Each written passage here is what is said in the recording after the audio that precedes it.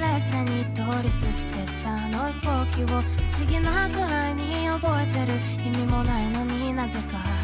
浮かいなくて泣いた祈るにただ強くなりたいと願ってたそのために必要な勇気を探し求めていた。残酷な運命が定まってるとして。それがいつの日か僕の前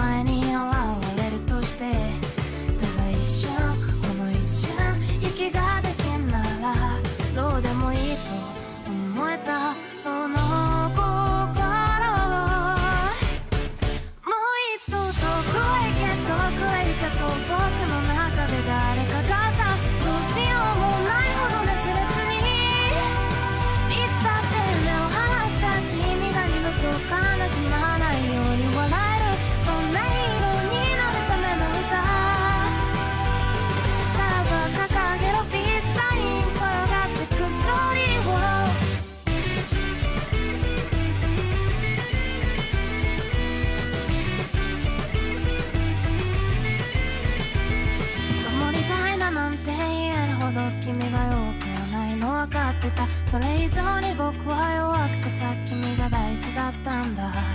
一人で生きていくんだなんてさ口をついて叫んだあの日か。ら変わっていく僕を笑えばいい。一人が怖い僕を。蹴飛ばして噛みついて息もできなくて。